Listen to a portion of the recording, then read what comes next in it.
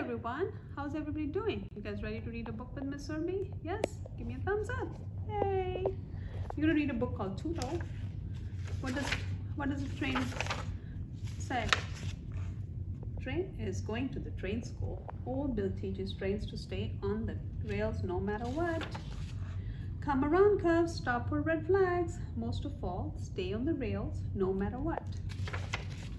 Good trains work hard to stay on the rails. Tootle works hard, he loves to go fast, but stopping for red flags is no fun. A horse shouts. The horse runs straight, the rails curve. Oh my god, then a bad thing happens. Tootle hops off the rails. The meadow is nice, it's full of buttercups. Tootle goes into the meadow again and again.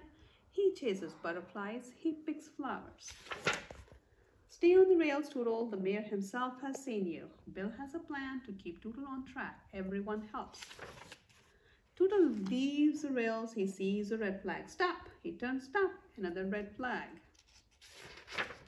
He turns again. Stop. Red flags are everywhere. No fun. Look, a green flag. It's on the rails. Tootle gets back on the rails. This is a place for me, Tootle tells Bill. Now, Tootle stays on the rails no matter what. Hooray for Tootle. The end. Did you guys like reading the book with Miss Serby? Yes? Bye for now. Love you guys.